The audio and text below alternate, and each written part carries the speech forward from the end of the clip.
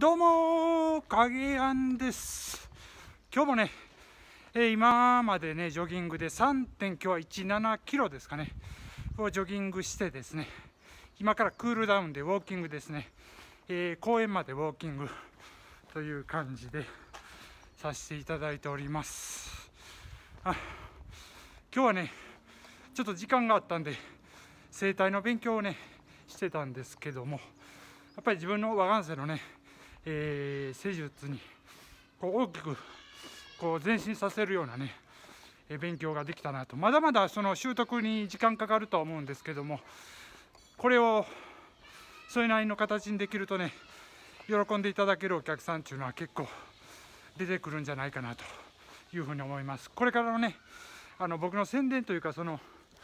あれのやり方にもよりますけどもそれなりにその自分で試したり、えー身内に試したりとかね、えー友達に試しながらですねちょっと効果を見ながらそれなりにいいもんが作り上げられたらですねあのー新メニューとしてあのご提供しようかなというふうに考えています。結構その見てるとですねそのあれですね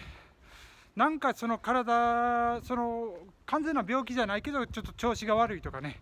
そういう症状に関してはね結構その効果がある可能性がある、えー施術になると思うんであのーこう徐々にこうスキルを上げていってですねあのー提供できればなと。でまずそれにはねある程度の信頼関係も必要なんでねそういういろいろ信頼関係をこう築けるようにこう努力していきたいというかまあありのままのね自分をこう表現してあのやっていきたいなというふうに思っております。まあ今日はちょっと今日の勉強は結構ちょっと難しいまだまだ難しいなという感じではあるんですけども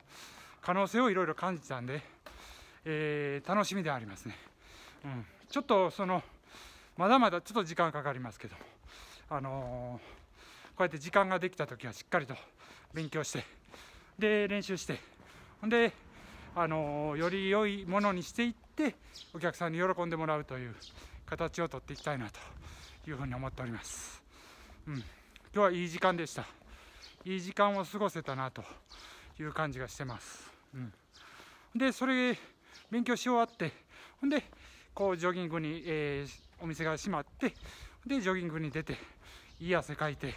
で今から公園で空手の型をねしてほんで終わろうかなと。終わるというかまあ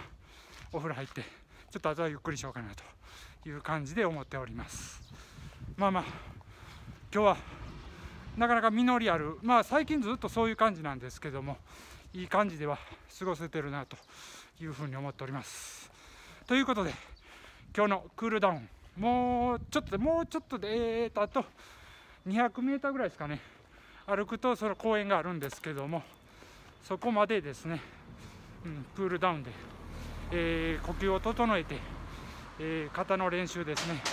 えー重心を後ろに持っていってですね。でこう肩をきれいに見せるっていう形。またまだまだ全然できてないんですけども、えー毎日積み重ねですね。練習していってあのいいものに